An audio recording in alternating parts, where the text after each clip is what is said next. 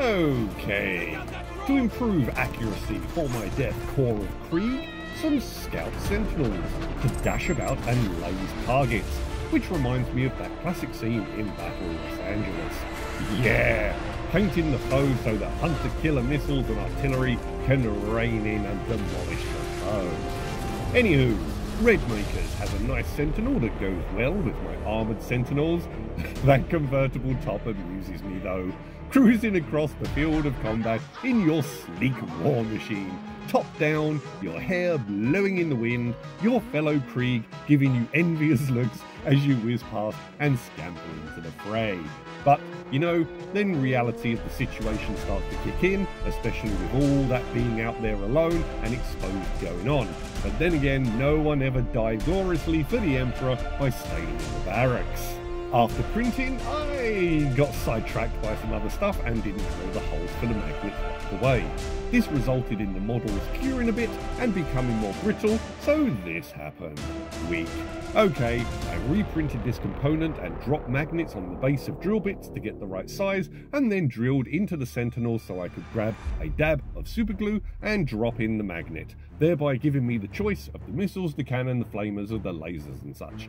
Into the hiking boot box, using a metal ruler so I can snap all the magnetized weapons to it and blast them all in one go. Then lift the ruler up a bit and get the underside, and then flip it around to get the other side as well. And I also printed and primed a series of industrial bases. After they are dry, on goes a layer of Abaddon Black across the Sentinels and all the weapons, then breaking out the Iron Hand steel base and a nice dry brush across absolutely everything, catching all those nice angular corners, the plates, the pipes, the muzzles, the hydraulics and everything else. Now, when painting, of course, the magnets got a coating by accident. An X-Acto might slice something off and it's a little too pointy to scrape off the paint and a screwdriver is too much of a blunt and inaccurate instrument. The solution? My lockpicks. A nice rake is perfect. It's blunt, it's skinny, and the handles are designed for working delicately to tag a pin and pop a stubborn lock. So they scrape off the paint and restore the magnets to full attraction and potency. Right, Grabbing the Khorne Red, I painted a little square on the front of the chassis so I can put my clear transfers on it.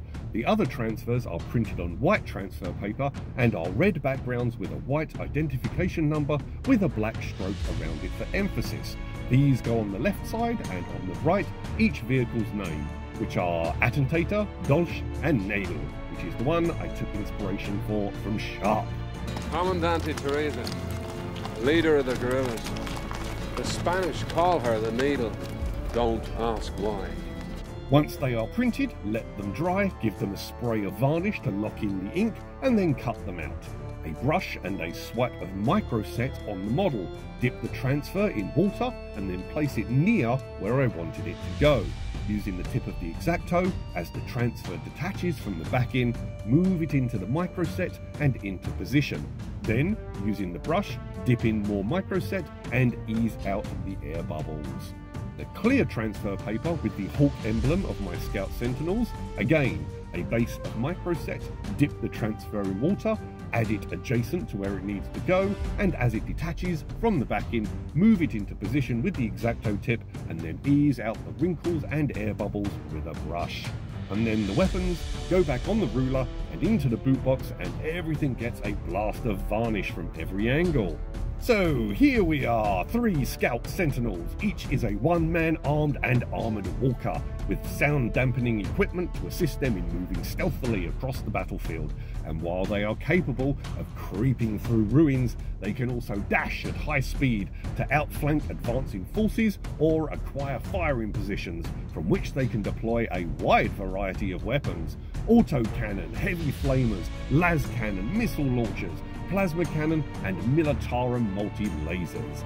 And if they enter close quarter combat, the whirring teeth of their chainsaw can carve apart adversaries with ease. But their greatest contribution is to laser hostile target, calling in its coordinates so that artillery barrages in the rear can home in on it and devastate the area with salvos of high explosives for the Emperor.